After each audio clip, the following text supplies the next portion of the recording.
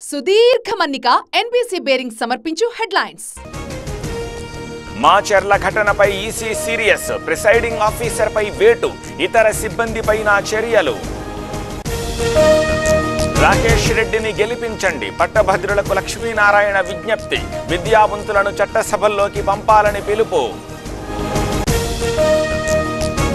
పిన్నెల్లి కోసం ఏపీ పోలీసుల వేట. హైదరాబాద్ లోనూ కొనసాగుతున్న గాలింపు. త్వరలో అరెస్ట్ చేస్తామన్న డీజీపీ.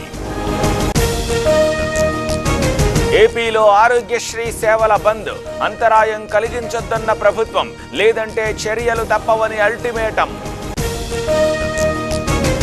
అకాల వర్షం అన్నదాతల ఆందోళన. కొనుగోలు కేంద్రాల్లో తడిసిన ధాన్యం. భూపాలపల్లి జిల్లాలో తీవ్ర నష్టం. నాగర్ కర్నూలు జిల్లా గంగారంలో కలకలం అటవీ ప్రాంతంలో చిరుతల సంచారం భయాందోళనలో పరిసర గ్రామస్తులు.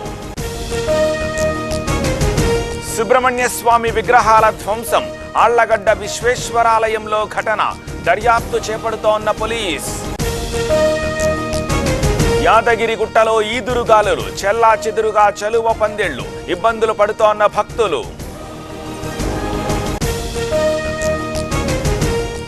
బుల్లెట్ సైలెన్సర్ పై ఉక్కుపాదం. వరంగల్లో ధ్వంసం చేసిన పోలీసులు సౌండ్ చేస్తే బెండు తీస్తామని హెచ్చరిక. హైదరాబాద్లో తాగునీటి కోసం సకల ప్రయత్నాలు. ఎల్లంపల్లి దగ్గర మోటార్ల బిగింపు. కాల్వల్లోకి ఎత్తిపోసేందుకు చర్యలు. ములుగు జిల్లా సీడ్స్ దుకాణాల్లో సోదాలు. విత్తనాలు పురుగు మందుల తనిఖీ. నిబంధనలు పాటించాలని ఆదేశాలు. విశాఖలో అదుపు తప్పిన లారీ రైలింగును ఢీకొని బోల్తా. డ్రైవర్ సహా ఇద్దరికి గాయాలు. రైమలలో భక్తుల రద్దీ. సర్వదర్శనానికి ఇరవై గంటల సమయం. ఏటీసీ వరకు క్యూ లైన్. హైదరాబాద్లో భారీ వర్షం. ఎల్బీ నగర్ దిల్షుక్ నగర్ మలక్పేటల్లో వాన.